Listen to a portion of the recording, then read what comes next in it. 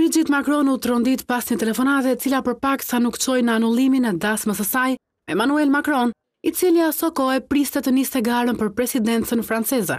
Një person i panjohur i telefonoi zonjës së parë dhe i tha që bashkëshorti i saj ishte me një mashkull tjetër, siç tregon një dokumentar francez, duke hedhur dyshime se Macron ishte në një marrëdhënie paralele homoseksuale.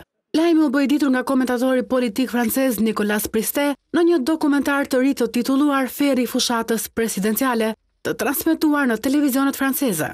Jeta personale e çiftit ka dalë shpesh në qendër të diskutimeve në Francë për shkak të diferencës së moshës mes tyre. Madje së fundmi kanë dalë raporte se Brigitte Macron është në fakt transgjinore.